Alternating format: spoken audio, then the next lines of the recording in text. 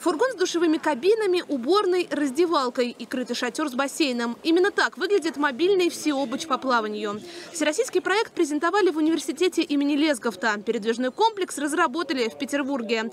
Теперь такие бассейны смогут оборудовать для обучения детей по всей России, там, где строительство стационарных комплексов невозможно. Это мобильный всеобуч – объект, оборудованный по последнему слову техники. В шатре установлен 10-метровый бассейн с системами контроля температуры и качества воды. Одновременно в таком могут заниматься до 20 человек. Первый комплекс отправят в Ростовскую область. В станице Кривянской заниматься плаванием смогут 900 детей.